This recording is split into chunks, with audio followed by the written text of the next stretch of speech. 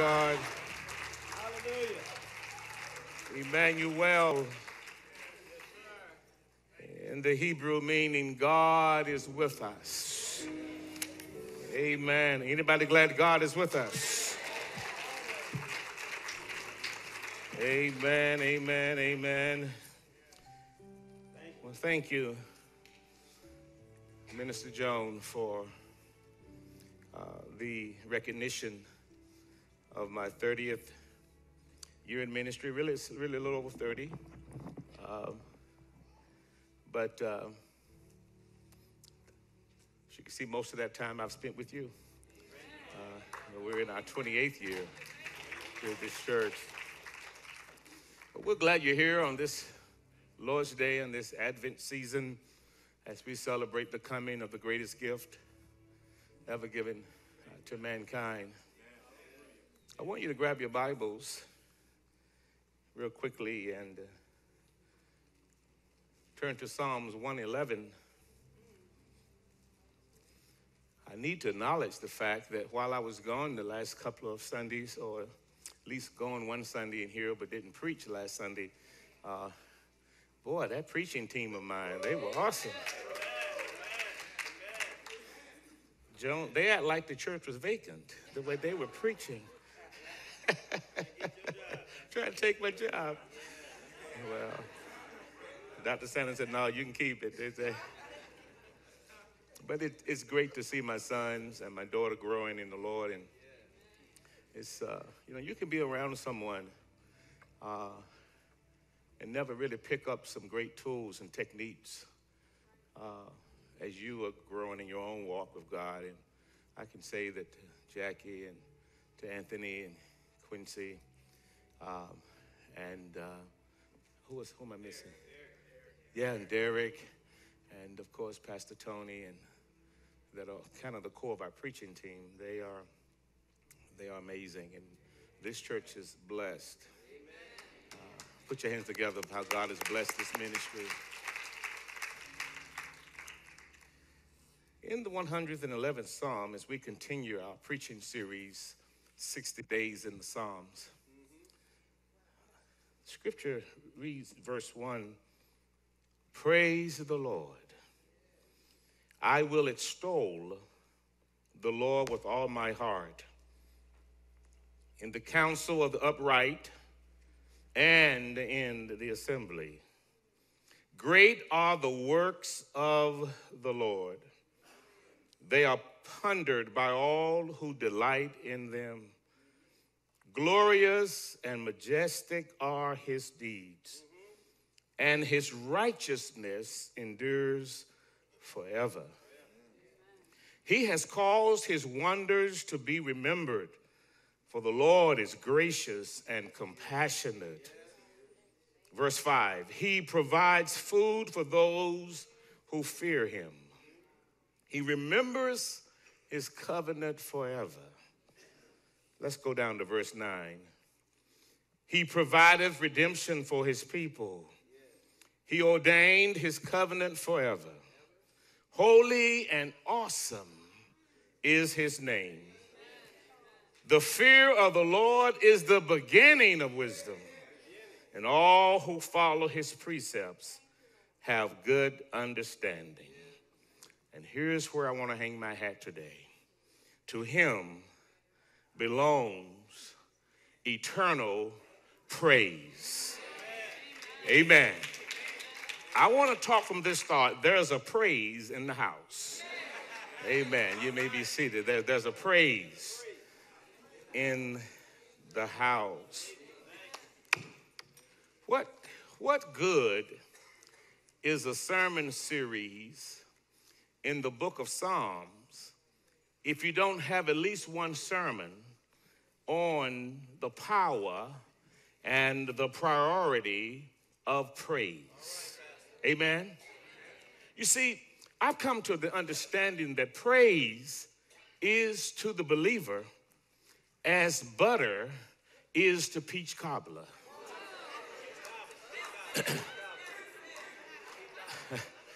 with, with, without it, there is no toe twisting there. You know, there's there's no toe twisting taste. We we often say when when we come across a good dish, then boy, she put her foot in that dish. Amen. Well, will I stop by on my way to heaven to say that if your worship is going to be pleasing to God, every now and then you got to put your foot in your worship. You can't just sit there and not move every now and then. Every now and then you got to get and twist. If you don't do it, but twist your little toe. You got to twist something for your worship to mean something to God. Amen. Uh, there ought to be a praise in the house. In both the 111th Psalm and the 112th Psalm, they're both acrostic Psalms. I won't go through that terminology because Quincy and Doc dealt with the acrostic terminology in their sermons, where every letter of the Hebrew alphabet is in both of these Psalms. But, but these, these Psalms, uh, they, they both start off with praise the Lord. And, and, we don't know who wrote these powerful twins of praise. We don't know who wrote them, but, but we, we, we believe that we know the motive. The psalmist steps out on the stage of worship and says emphatically, with no apology, praise the Lord. In other words, when you think about all that God has done, when you think about all that God is doing, when you think about all that God's getting ready to do, you can't do anything but have a praise come out of your mouth. Have I got a witness in this place? I mean, is there a praise in the house? I love the way the legendary Dorothy Norwood put it.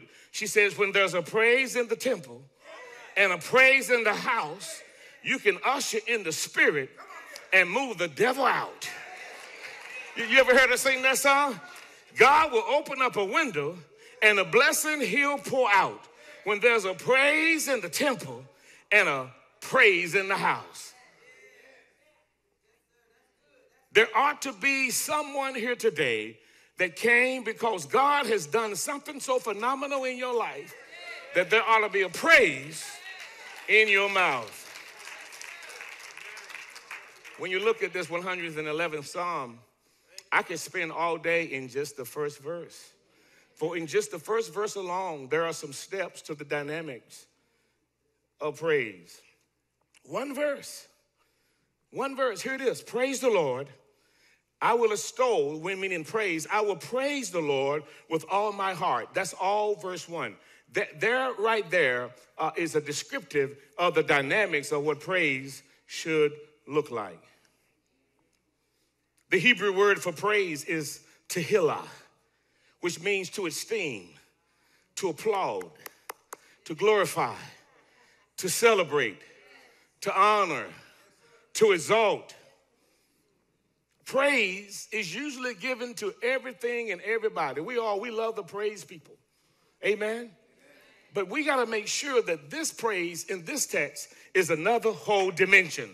Amen. I said this praise in this text is far above any praise we could give any entertainer or any person or anything. This is a praise that have, or I should say that, that will have a divine dimension to it. For it is the articulation of one's adoration for God's amazing appropriations and his salvation. Y'all write that down? Huh? Let me say it again. For praise is what? It is the articulation of one's adoration of God's appropriations and his salvation. That, that, that's why we praise him. That's, that's why we come to the nine o'clock service. We don't, we don't come to get it over with, we come to get it on. I, I wish I had somebody that came to just to get it on.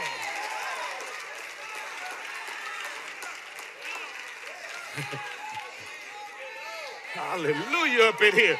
There's a praise in the house. I feel it in my spirit.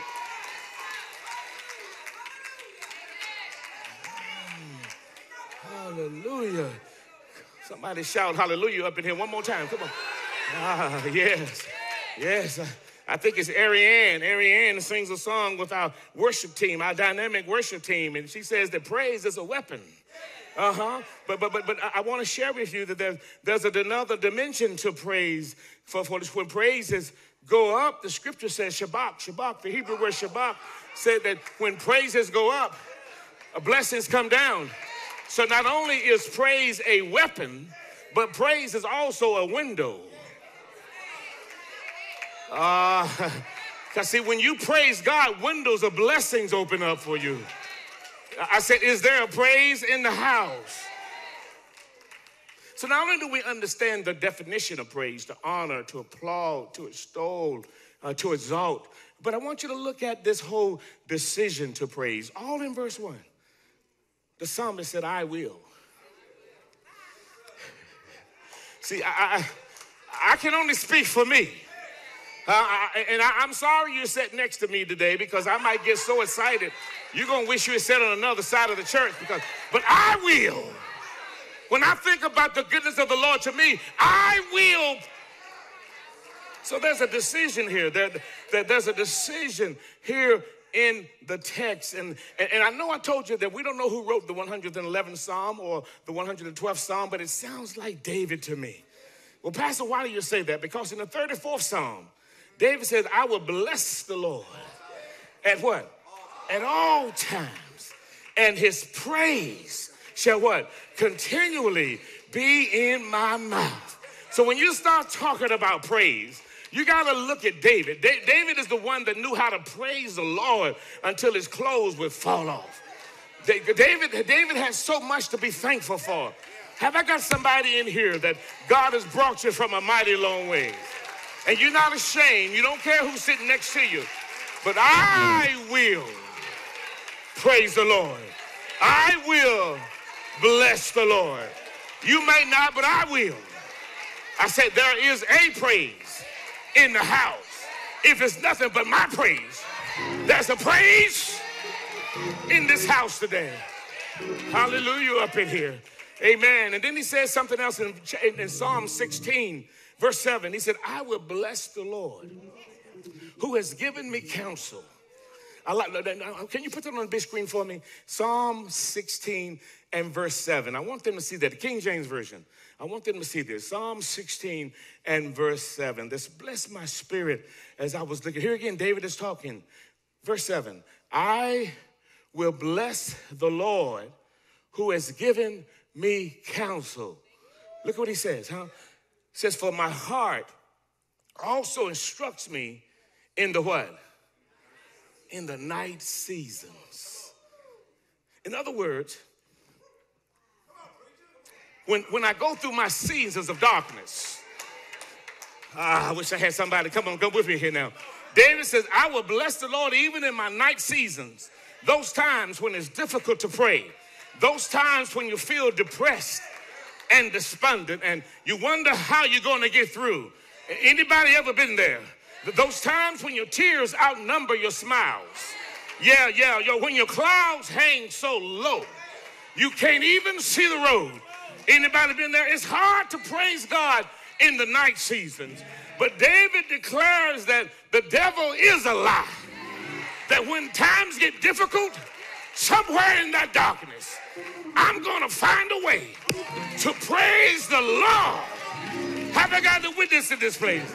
I will bless the Lord at all times. Somebody shout all times.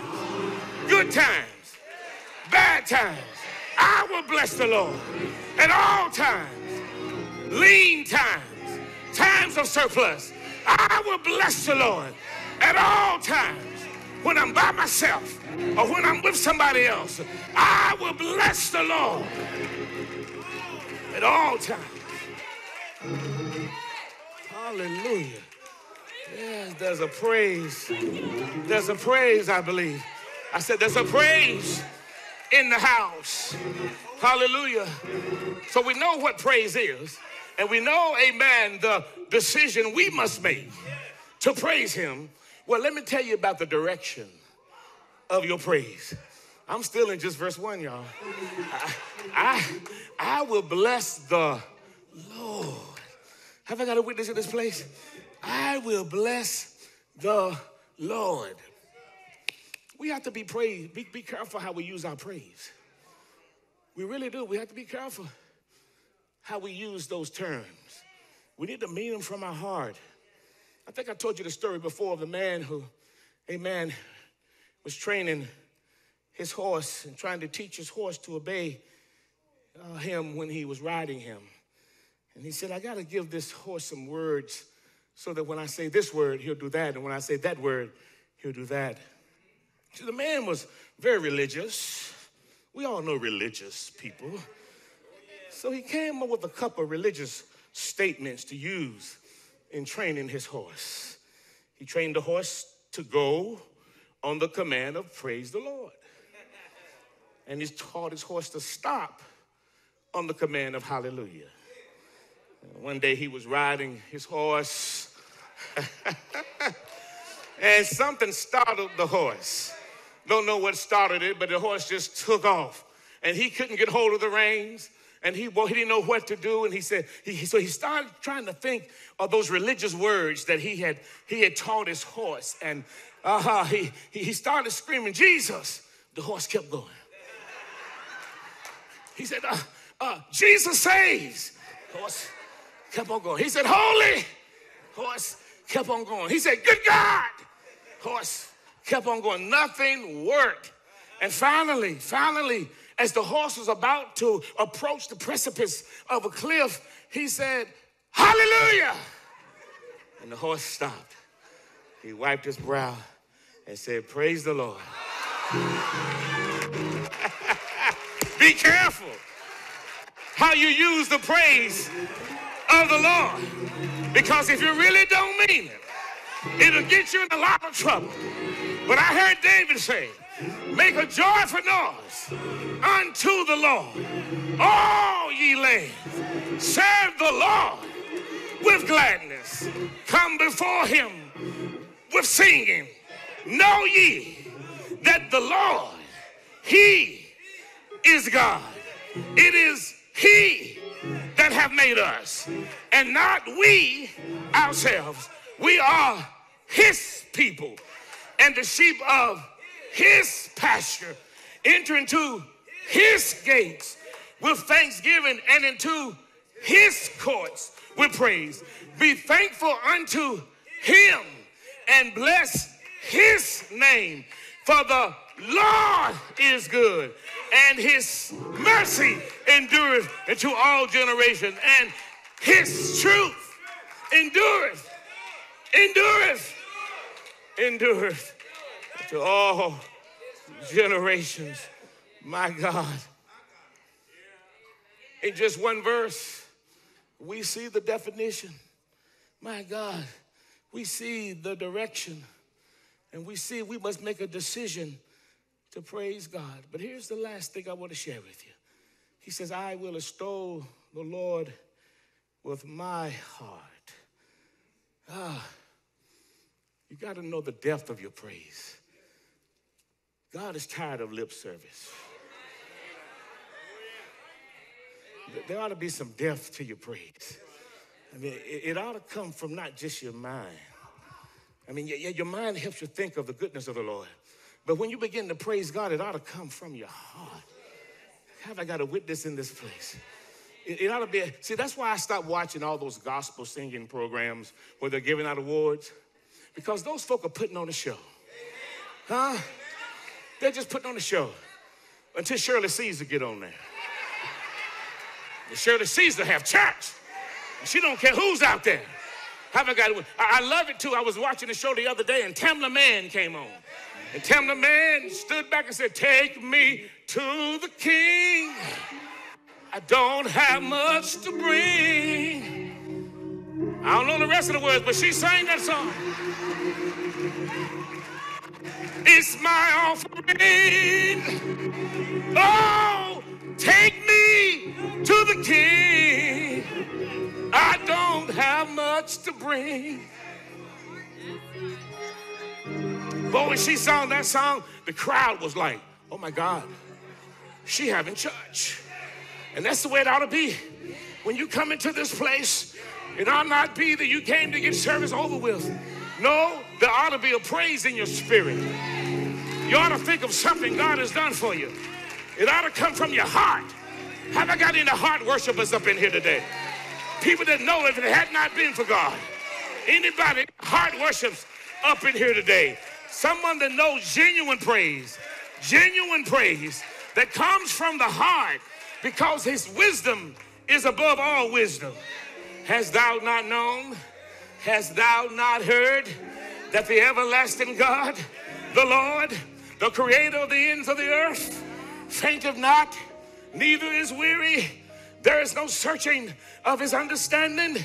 He giveth power to the faint, and to them that have no might, he increaseth their strength. Even the youths shall faint and be weary. Young men shall utterly fall. But they, I wish I had somebody, that wait on the Lord shall renew their strength. They shall mount up with wings as doves. They shall run and not be weary. They shall walk and not faint. Have I got a witness in this place? I dare you to wait on him. Won't he come through for you? Oh, and God is faithful. Isn't he faithful? Great is thy faithfulness, Lord, unto me. Morning by morning, your mercies are new. Great is thy faithfulness. There ought to be a praise in the house. Isn't he all right? He all right? I said, he all right? He all right? Come on, don't fool me there. He all right?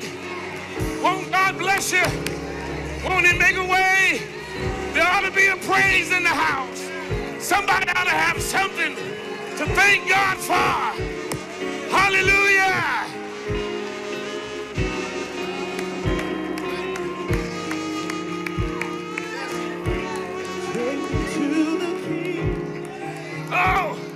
I don't. Don't have much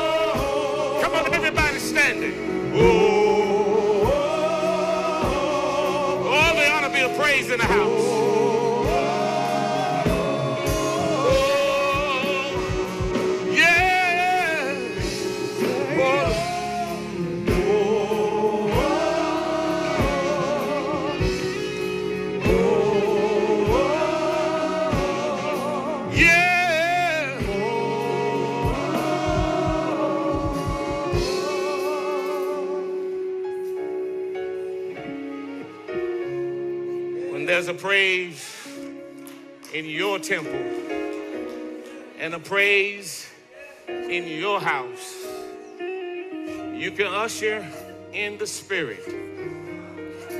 You can drive the devil out. God will open up a window and a blessing he'll pour down.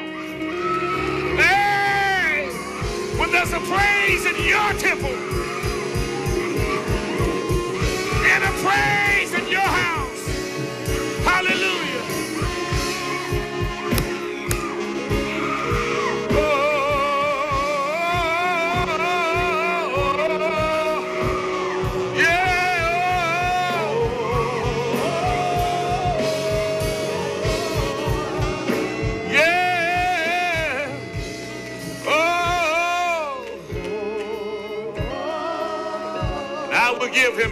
praise. I will give him eternal praise.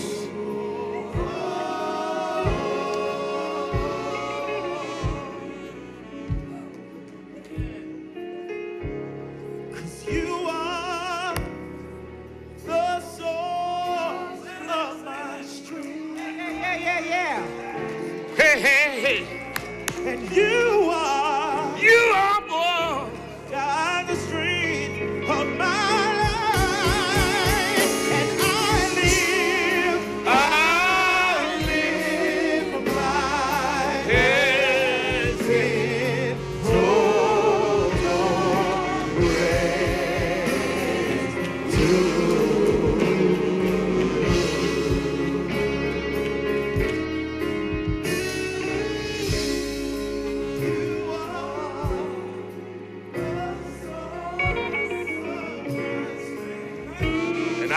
praise him all the days of my life.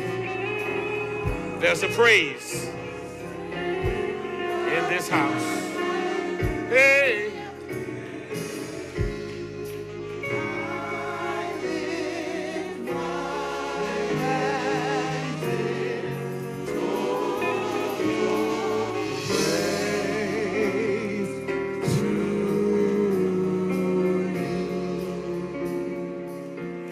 Tradition, we say the doors of the church are open. In other words, this is an opportunity for you to make the most important decision you'll ever make in your life. A decision to be in relationship. I'm not talking about membership.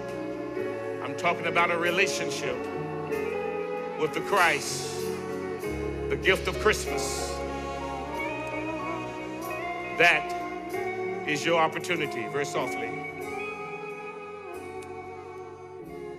You have an opportunity to make that decision right now, right here, at this moment, to receive the greatest gift ever given to mankind. See, you know why there's a praise in the house? Because so many here already have received Christ. That's why there's a praise in the house. And, and we know what he means to us. But you can have that same relationship. And after the relationship, then comes the membership. But you got to first make a decision and say, you know what? I want a relationship with that gift that came as a babe wrapped in swaddling clothes, that gift that grew up and went to Calvary, that group, that that that man rather, that that that gift rather, that died on the cross, that gift that now sits with the Father, that's coming back for those that believe in Him. I want that gift. That gift. Yesterday, about this time, the church was full of people at a homegoing service. And I preached to them about the gift, the perfect gift.